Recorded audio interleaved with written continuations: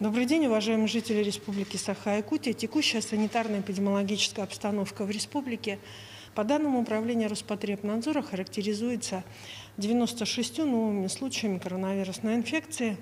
Город Якутск 56 случаев. Большое количество случаев в Жиганском Улусе. Группа заболевших изолирована, находится на лечении. Соответственно, значит, распространение предотвращено. Пять случаев зарегистрировано в Нерюнгринском районе, по четыре случая зарегистрировано в Алданском, Амгинском, Верхневилюйском, Ленском районе, по два случая зарегистрировано в Усть-Алданском, Хангаласском районе и по одному случаю зарегистрировано в Верхнеколымском, Вилюйском, Кобяйском, Намском и Абеконском районе. Особое внимание обращаю на районы, которые а, значит, были в числе тех, в которых не зарегистрированы случаи.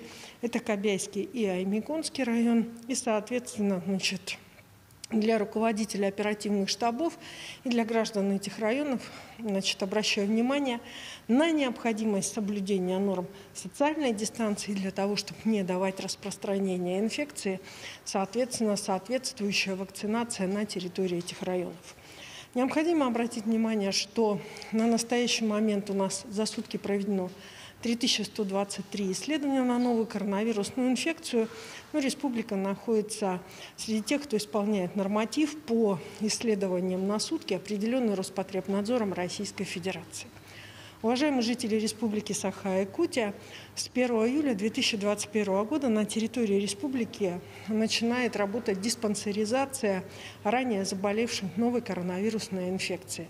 В связи с этим соответствующие наши центральные районные больницы, они оснащены соответственной информацией, подписаны соглашения с Российской Федерацией, Минздравом Российской Федерации о выделении денежных средств на проведение диспансеризации тех, кто переболел новой коронавирусной инфекцией до данного времени.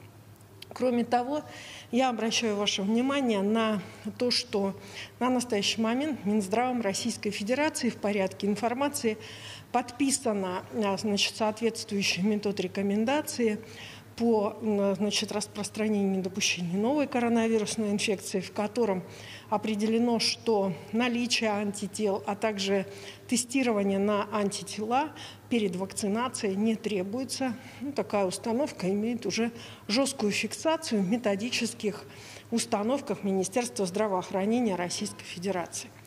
Вакцинация на территории республики продолжается двумя вакцинами. Вакцинами «Пивак Корона» и вакциной «Спутник». На 2 июля 2021 года в республику поступило 268-37 тысяч доз вакцины против новой коронавирусной инфекции. То есть на настоящий момент у нас получили первую вакцину 210 700 976 человек. Необходимо обратить внимание, что Появились у нас в том числе районные лидеры, кто практически полностью исполнил уже план по вакцинации, но и есть те районы, в которых непосредственно достаточно большое количество, сегодня меньше 50% вакцинировано граждан.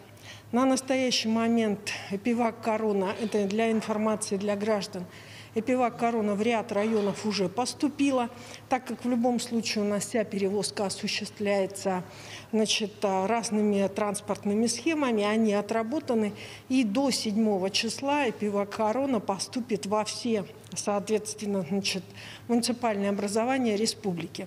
Кроме того, вчера, значит, дополнительно, я уже говорила об этом, поступил уже спутник, и на настоящий момент вакцина «Спутник» также распределена между значит, непосредственно поликлиниками как нашего города, так и нашей республики. Уважаемые жители Республики Саха-Якутия, впереди а, в любом случае мы находимся в состоянии лета, впереди выходные. Обращаю внимание на то, что непосредственно во время этих выходных все наши увеселительные заведения, которые существуют, и рестораны, они работают по схеме, которая определен указом главы Республики Саха-Якутия с соответствующими ограничениями. Обращаю внимание на усиление контроля со стороны органов внутренних дел за а, данной ситуацией. Безусловно, во время выходных граждане выезжают на отдых. Прошу обращать внимание на то, что перед отдыхом хотелось бы вас пригласить на вакцинацию на наши вакцинальные участки. Напомнить о том, что тогда, когда вы будете отдыхать в субботу-воскресенье, наши медики будут вас продолжать ждать на вакцинальных участках в субботу-воскресенье. Ну а самое главное, наши медики будут продолжать работать и спасать наших с вами граждан ваших родственников, возможно, даже как многих из вас, для того, чтобы непосредственно не допустить, э, для того, чтобы выздоровели люди от новой коронавирусной инфекции и не допускать распространения. Поэтому провакцинируйтесь перед выходными.